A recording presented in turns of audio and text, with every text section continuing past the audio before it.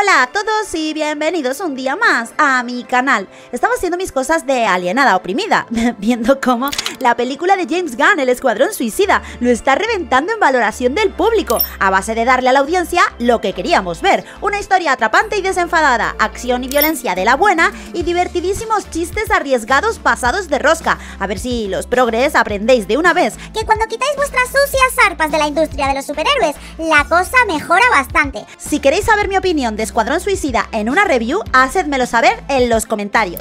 Bueno, pues resulta que ha llegado a mi conocimiento a través de Twitter la última polémica de Timmy Studio Group, el estudio que desarrolla el MOBA de Pokémon, Pokémon Unit. Y la verdad es que es una polémica bastante considerable, que a lo mejor muchos ni estabais enterados de que esto estaba pasando, pero no os preocupéis que para eso está la tía alienada. Cuando lo sepáis vais a flipar. Pero antes de abordar el tema, adelante con la intro.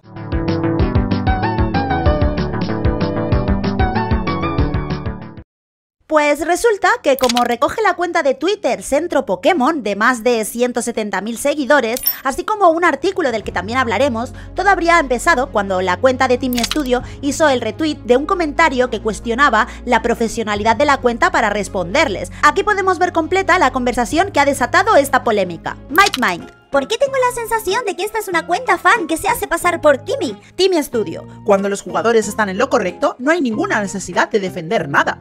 Mike Mine. ¿Puedes decir derechos para los gays? Timmy Studio. ¿Por qué? Los derechos de los heterosexuales son igualmente importantes. Jason Thames.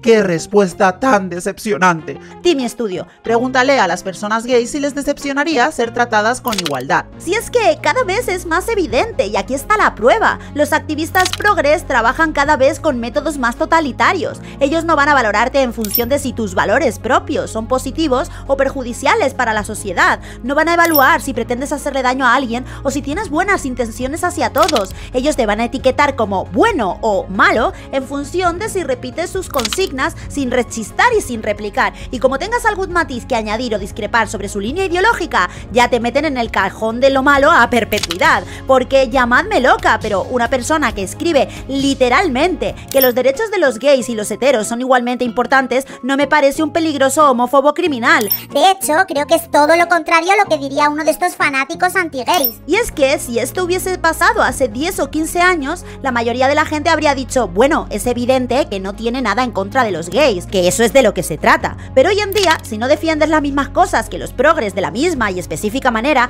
eres el mal que hay que combatir. Pero luego te dirán que qué mal están los dogmas y el pensamiento único. Anda ya, panda de hipócritas. Esta última polémica también ha sido recogida por portales como kotaku.com, que nos amplía la información en este artículo con párrafos como este. Probablemente hayas visto esto antes. Solo esta semana alguien le pagó al locutor original de Halo para que dijera derechos trans. Se ha convertido en una costumbre pedir a las celebridades que repitan esta frase o variaciones de esta porque el listón es tan jodidamente bajo que el que alguien que se atreva a decir algo tan vagamente político como el mero concepto de igualdad de derechos para las personas queer se siente como una victoria para la comunidad. Las marcas siempre dicen que son inclusivas, pero por lo general lo hacen en los términos más amplios posibles. La mayoría de las veces, las marcas adyacentes a Nintendo no dicen nada que se parezca a la política. Madre mía, no sabía que un portal de noticias de odio podría llegar a estar tan basadísimo. Y es que razón no les falta. Hace décadas, las victorias para los colectivos eran cosas como que se aprobasen leyes a su favor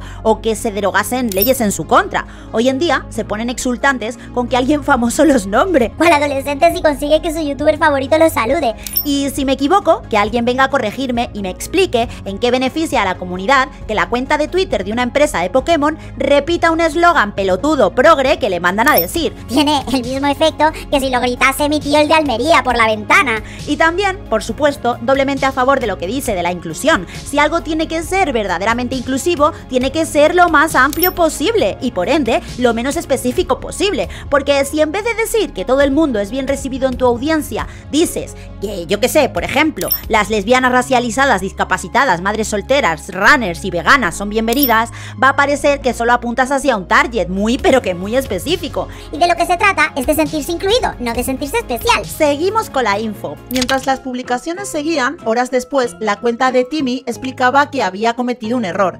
Si por casualidad vio algunos comentarios inapropiados de mi parte, esto es lo que sucedió. Quería decir que todos son iguales, porque sé lo duro que tenemos que luchar para lograrlo, pero arruiné la expresión. Lo siento, me siento muy mal por este error. Gracias por recordárnoslo. Alguien respondió a esto sugiriendo que importaba porque no todo el mundo tiene los mismos derechos en la sociedad. A eso, Timmy Studio Group respondió, aprendí una lección seria. Ay, de verdad, con lo bien que ibas hasta ahora Timmy Studios. Porque yo entiendo que la presión es mucha, porque de hecho la compañía oficial de Pokémon, Company, les presionó para cambiar ese rumbo, pero es que ya es de sobra conocido por quien haya observado un poco la batalla cultural que los progres no quieren las disculpas de la gente a la que señalan, quieren a esa gente ahogándose en un charco de sus propias lágrimas mientras suplican perdón por existir, mientras reconocen al progresismo como su nueva religión. La prueba que se suma a las decenas de ejemplos de los que alguna vez he hablado en este canal está en que tras las disculpas oficiales que podemos ver en el tweet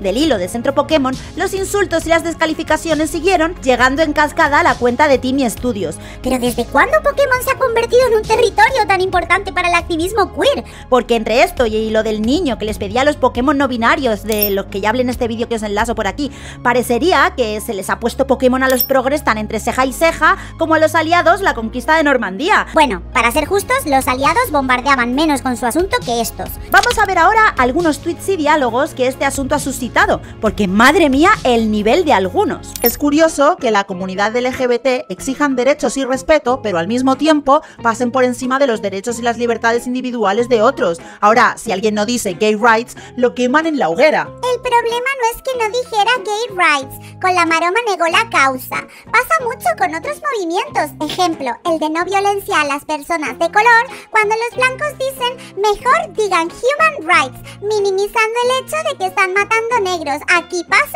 igual. Pero es que aquí lo vemos otra vez. Como no repites mis eslóganes progres, automáticamente es que estás negando mi causa. No es que tengas una visión propia sobre la causa o que incluso discrepes de algunos aspectos. Es que estás en contra de ella. Pero luego los totalitarios somos los demás, claro, claro. Eso sí, algunos de los que opinaron al respecto eran favorables a Timmy Studios, como el que podemos ver a continuación. Sinceramente, no sé pa' qué tanto revuelo. El CM la cagó contestando, podría haber ignorado el tweet y ya. Pero es que encima tiene razón, no estamos en Irán, coño. El día en que los LGBT estemos realmente incluidos será el día en el que no tengamos que ir diciéndolo para todo. Pues más claro el agua, porque recordemos que esta polémica no es que se haya iniciado porque la cuenta de Timmy Studios haya dicho algo negativo u ofensivo contra los gays, es porque no le ha querido bailar el agua a unos cuantos progres repitiendo sus eslogans y estos han decidido sentirse ofendidos y excluidos, pero no es que Timmy Studios los haya excluido activamente. Y también es curiosa la paradoja que para estos activistas los homosexuales están súper oprimidos en Occidente porque a veces las cuentas oficiales no quieren repetir sus consignas o algún humorista hace un chiste sobre el colectivo,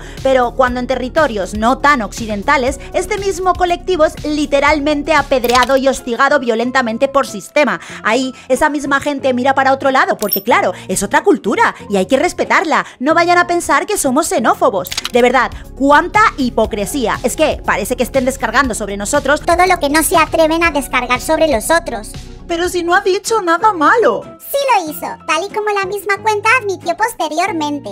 Dice eso por la presión de las críticas, pero si se supone que las personas hetero y gays somos iguales, entonces ¿por qué los gays tienen derechos aparte? Eso es una completa segregación, es darles un trato especial por el hecho de su orientación. Eso nadie lo puede negar. Anda, que si no hubieran saltado incluso los propios superiores de Timmy Studios, se iban a disculpar estos por algo que estaba diciendo desde la buena intención. Yo creo que la lección que creo que han aprendido, aunque nunca lo dirán en voz alta, es que los progres no quieren apoyo, quieren vasallaje y que les rindamos pleitesía a sus locuras totalitarias, porque es que han obligado a alguien a disculparse por decir que los derechos de los heterosexuales y de los homosexuales son de igual de importantes. Que alguien me explique qué cuernos hay de malvado injusto en esta frase, que soy todo oídos. A este usuario en concreto la gente le estuvo respondiendo bastante, lo que nos dejó algunas conversaciones bastante rocambolescas, sobre todo la que viene a continuación. Porque todavía no tienen los mismos derechos, pedazo de imbécil. ¿Qué derechos tiene una persona homosexual que no tengas tú? Anda. Pero tú no ves que me acabas de dar la razón. Acabo de decir que las personas homosexuales y heterosexuales tenemos los mismos derechos. Y te repito tu misma pregunta. Dime un solo derecho que tengan las personas heterosexuales que no tengan las homosexuales.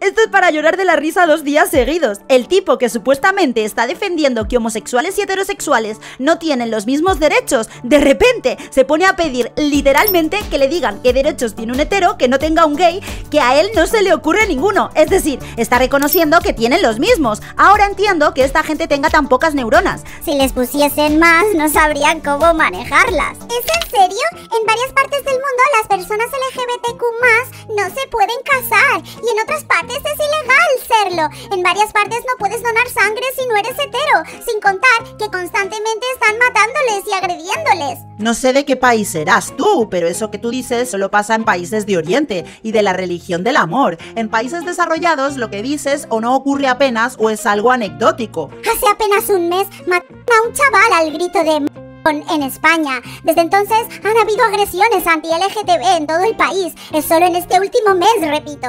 Infórmate. Quien debería de informarse eres tú. A ese chaval no lo mataron por ser homosexual. Ya fue descartado, pero seguro que ni te has leído la sentencia. Por no decir que quienes lo mataron fueron un brasileño, un hincha de los Riazor Blues, organización de extrema izquierda, y una mujer. Ciertamente, más allá del caso concreto de Samuel, que ese tipo de cosas le sucedan a hombres homosexuales o a mujeres lesbianas, es siempre un hecho terrible que merece la mayor condena y repulsa por parte de todos. Nadie está defendiendo lo contrario. Lo que sucede y de lo que mucha gente está harta es de los progres que tratan de venderte que las únicas personas que corren peligro volviendo a casa de noche son las mujeres o el colectivo LGBT, como si los hombres o colectivos vulnerables como los ancianos estuviesen absolutamente libres de todo peligro. Atracos, asaltos, palizas, secuestros, porque cuando algunas de estas personas alzan la voz de que ellos también sienten ese miedo, el progresismo les salta encima con que la cosa no va sobre ellos, demostrando que esto no va de ayudar a los vulnerables, sino de protagonismo. Y ese no es un rollo en el que esté interesada, sinceramente. Además, es muy gracioso el hecho en este caso concreto, el de Samuel. Mientras no se sabía absolutamente nada sobre el crimen, los Social Justice Warriors organizaron cientos de movilizaciones pro LGBT para condenar este supuesto crimen homófobo. Pero desde que se supo que algunos de los participantes eran personas más bien de su misma cuerda ideológica, se hizo el silencio absoluto. De nuevo, a ellos no les importa el crimen, solo les importa la política. Lo que ha pasado estos días con Timmy Studios es el enésimo ejemplo del chantaje y sometimiento con el que el progresismo trata a las empresas. Les abordan aleatoriamente de la nada y sin que nada de lo que están haciendo tenga que ver con nada progreo político. Les exigen respaldo y apoyo ciego y como se nieguen o tengan algo que replicar, que se atengan a las consecuencias. No digo a qué me recuerda esto porque quiero seguir teniendo este canal muchos años es muy importante comprender que no se puede ceder un milímetro ni entrar en el juego de esta gente que no quiere negociar, sino imponer, que no quiere dialogar, sino dictar, porque quienes no estamos de acuerdo con estas dinámicas de apoyo incondicional a las minorías no es por la causa en sí, es porque la defienden de forma contraria al debate y al libre intercambio de ideas, concretamente exigiendo espacio para pregonar sus ideas a base de anular y pisotear el espacio de otros con otras ideas. Y sinceramente, estas actitudes deberían estar lejos de muchas cosas, pero principalmente de la cultura y del ocio que tanto amamos. Basta ya de gente que se cree Ash Ketchum cuando en realidad está haciendo el Team Rocket.